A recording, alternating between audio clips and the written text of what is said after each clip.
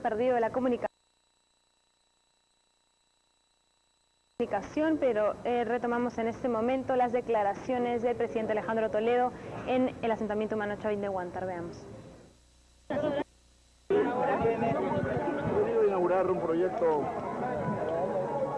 en el asentamiento humano del proyecto integral Chavín de Guantar.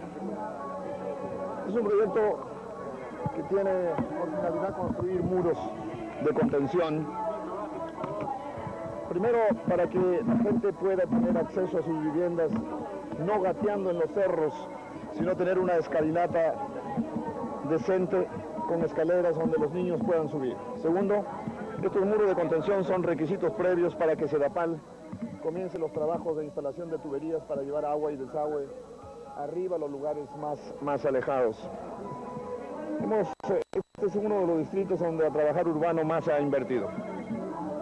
Esto es parte de mi trabajo de generar trabajo. Esto nos permitirá tener accesos, vamos a realizar veredas, vamos a tratar de plantar árboles porque los niños también tienen derecho a tener una vida decente.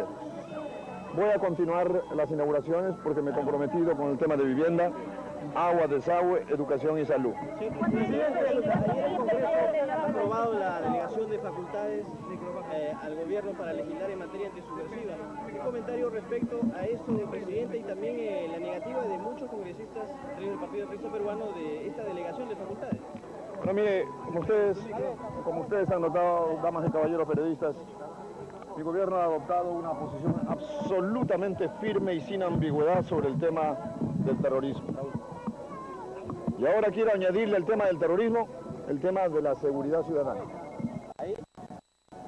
Hemos tomado la iniciativa con rapidez, hemos fijado nuestra posición y en mensaje a la nación hemos solicitado facultades extraordinarias para legislar sobre el tema del terrorismo e implementar la decisión del Tribunal Constitucional. Yo quiero primero saludar eh, el gesto y la comprensión del Congreso de la República. Gracias a usted, muchas gracias. Entonces continuamos con las declaraciones del presidente Alejandro Toledo en, eh, tras la inauguración de obras de infraestructura en el asentamiento humano Chavín de Guantar en San Juan de Lurigancho. Escuchemos.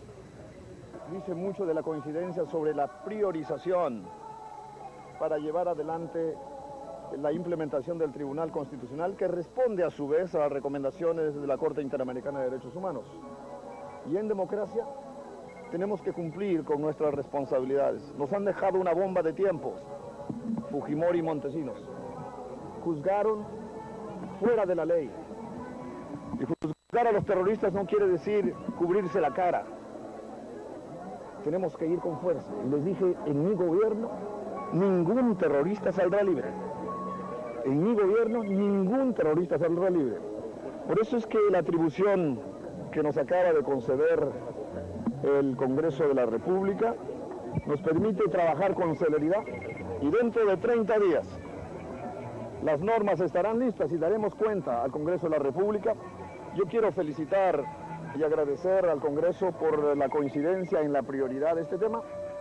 Mire, que uno, algunos no hayan votado con nosotros, ellos solo tienen que lidiar con su conciencia. Eh, yo respeto, eso es la democracia. Yo no quiero entrar a individualizar quién no votó, pero la opinión pública sabe. Una mayoría amplia, presidente.